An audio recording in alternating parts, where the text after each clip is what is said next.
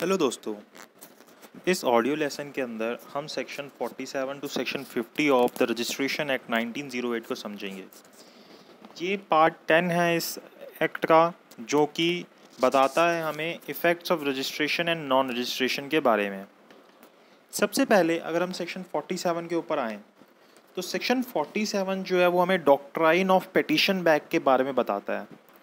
Doctrine of petition back हमें section 47 के अंदर बताया गया। उससे पहले हम एक बारी सेक्शन को रीड करते हैं। तो हमें समझ आ जाएगा कि इस डॉक्ट्राइन के अंदर क्या बताया गया है। Time from which registered document operates कि किस टाइम से मतलब कि किस दिन से वो रजिस्टर्ड डॉक्यूमेंट ऑपरेशन के अंदर आता है, कब से वो इफेक्टेड माना जाता है।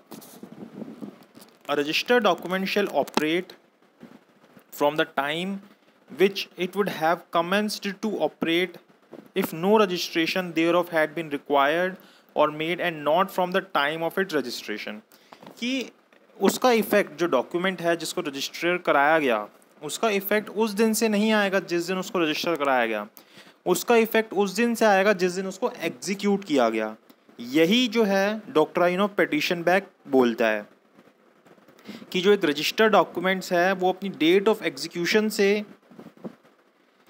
इफ़ेक्ट के अंदर माना जाएगा ऑपरेटिव माना जाएगा, ना कि डेट ऑफ़ रजिस्ट्रेशन से। यही हमें सेक्शन 47 के अंदर बताया गया है। फिर इसके बाद अगर मान लीजिए कि इस सेक्शन से हमें और चीज़ क्या पता चलती है, मान लीजिए कि अगर एक रजिस्टर्ड डॉक्यूमेंट्स है, एक रजिस्टर्ड डॉक्यूमेंट है तो अब हमें ये तो पता चल गया इस सेक्शन से कि वो किस दिन से ऑपरेटिव माना जाता है? अपनी डेट ऑफ़ एग्जीक्यूशन से, ना कि डेट ऑफ़ रजिस्ट्रेशन से। अब मान लीजिए, अगर दो रजिस्टर्ड डॉक्यूमेंट हो जाते हैं। किस चीज़ से? सेम पर्सन के द्वारा सेम प्रॉपर्टी के रिगार्डिंग दो अलग अलग पर्सन के साथ, और वो भी अलग अलग टाइम पे। तो ऐसे केस के अंदर जोन सा भी डॉक्यूमेंट पहले एग्जीक्यूट हुआ था वो ऑपरेटिव माना जाएगा, चाहे दोनों में से कोई भी रजिस्टर्ड पहले हुआ हो। मतलब एक एग्जांपल दूँ आपको। मान लीजिए ए के पास एक प्रॉपर्टी थी। उसने बी के साथ एक डॉक्यूमेंट एग्जीक्यूट किया, एक इमूवेबल प्रॉपर्टी के रिगार्डिंग और बोला कि अब से ये प्रॉपर्टी आपकी है।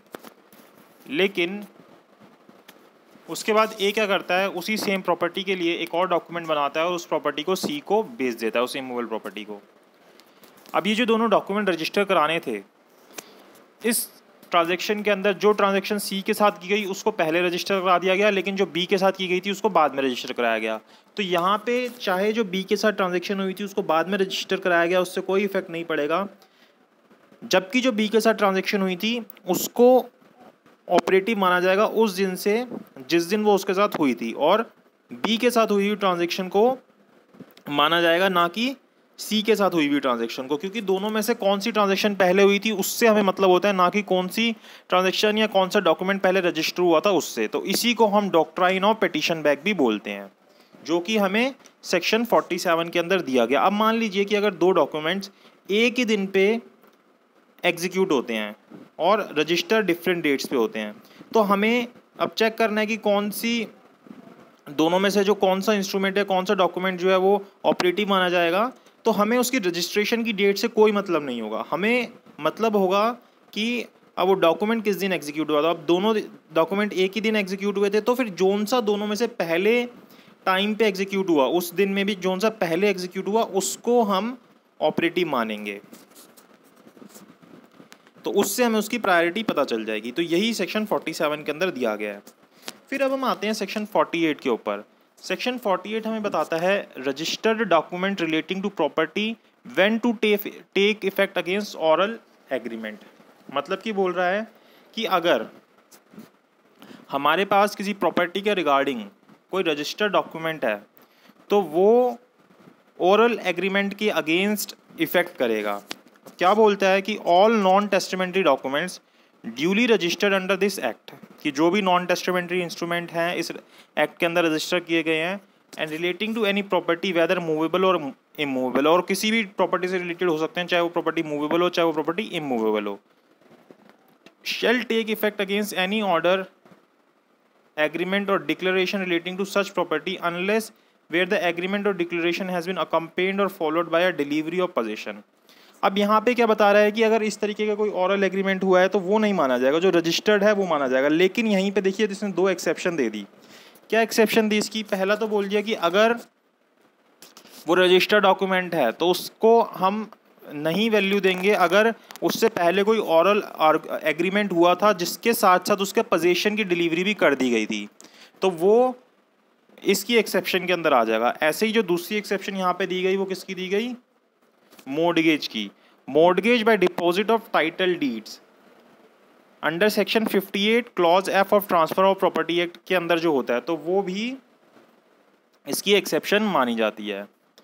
तो अगर किसी चीज़ की टाइटल डिपॉजिट कर दी गई, किसी मॉडगेज की तो वो अगर ऑरली भी की गई है मतलब एक तरीके से हमने डिपॉजिट कर दी तो उसका इफ़ेक्ट ज़्यादा होगा।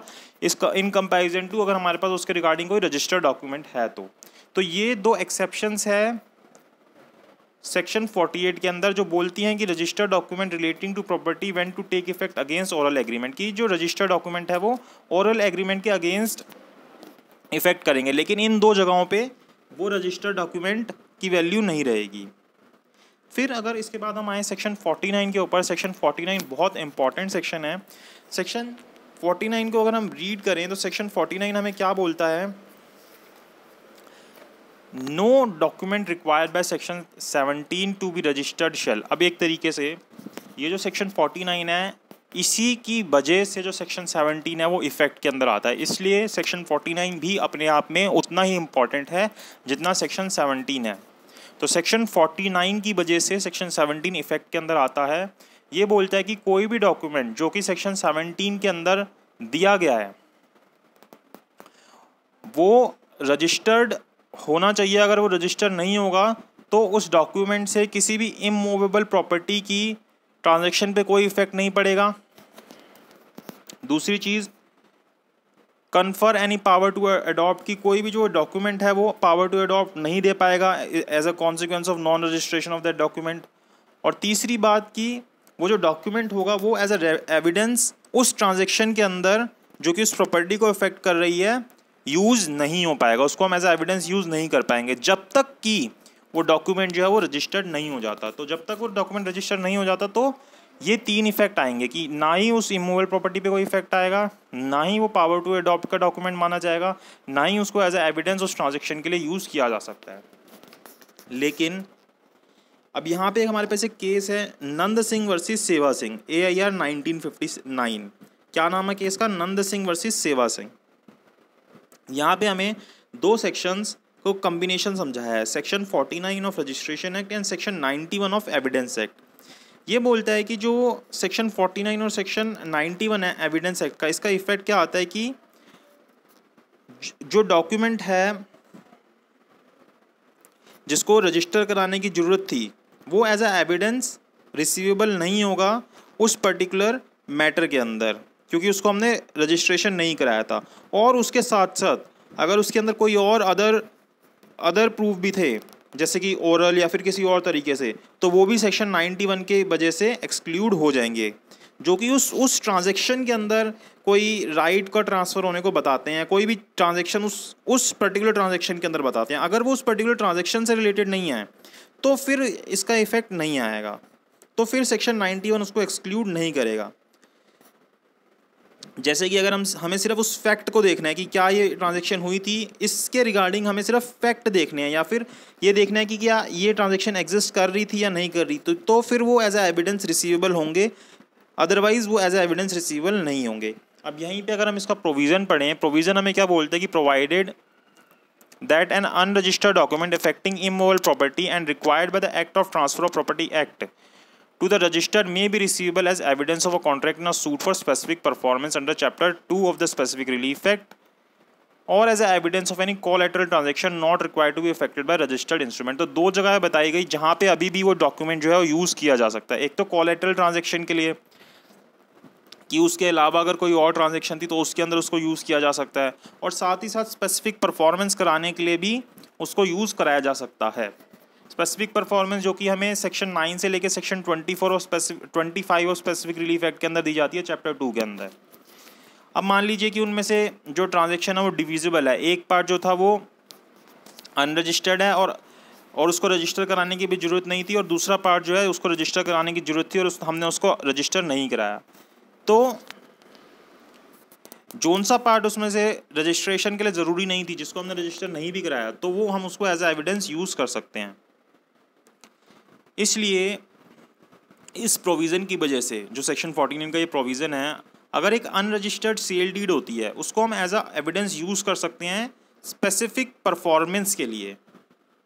अगर कोई स्पेसिफिक परफॉर्मेंस डिस्प्यूट के अंदर होती है तो हम उसको यूज़ कर सकते हैं एज अ एविडेंस फिर उसके बाद, ये हमने सेक्शन फोर्टी नाइन के अंदर समझा। फिर सेक्शन फिफ्टी हमें बताता है certain registered documents relating to land take effect against unregistered documents क्या बोलता है इसके अंदर?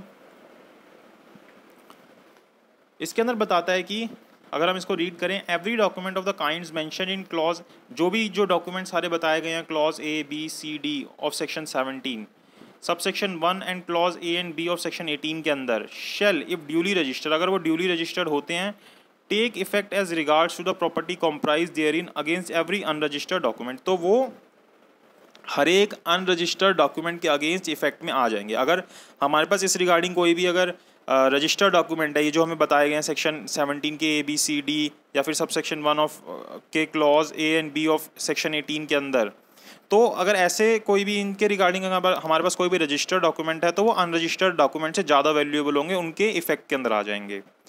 Same properly and not being degree or लेकिन वो डिग्री या ऑर्डर नहीं होनी चाहिए कोर्ट की। वेदर सच अनरजिस्टर्ड डॉक्यूमेंट भी same nature or registered document or not चाहे वो जो अनरजिस्टर्ड डॉक्यूमेंट जो हैं वो सेम नेचर के हैं, उन रजिस्टर्ड डॉक्यूमेंट से या फिर सेम नेचर के नहीं हैं। फिर सबसेक्शन टू बोलता है nothing in subsection one applies to lease exempted under the provision of subsection one of section seventeen लेकिन ये लीज के ऊपर एप्लीकेबल नहीं होता, जो सेक्शन सेवनटीन के सब सेक्शन वन के अंदर दी गई है। अगर हमारे पास उसके रिगार्डिंग अगर कोई अनरजिस्टर्ड डॉक्यूमेंट भी है तो वो इफ़ेक्ट के अंदर आ जाएगा उस रजिस्टर्ड डॉक्यूमेंट के अलावा। और to any document mention in subsection two of the same section या फिर जो भी हमें सबसेक्शन टू के अंदर दिए गए जो एग्ज़ाम डॉक्यूमेंट्स होते हैं और to any registered document which had no priority under the law to enforce to the commencement of this act एक तरीके से रजिस्टर्ड डॉक्यूमेंट को हम क्या मान लेते हैं? प्रायोरिटी मान लेते हैं in comparison to unregistered document लेकिन ये जो सबसेक्शन टू के अंदर बताए गए इनके अंदर हम प्रायोरिटी नहीं देते उनको। तो ये हमने सेक्शन 47 से लेकर सेक्शन 50 इस ऑडियो लेसन के अंदर ख़त्म किया। अब हम इसका पार्ट 11 ख़त्म करेंगे, जिसके अंदर हम duties and powers of registering officers को देखेंगे।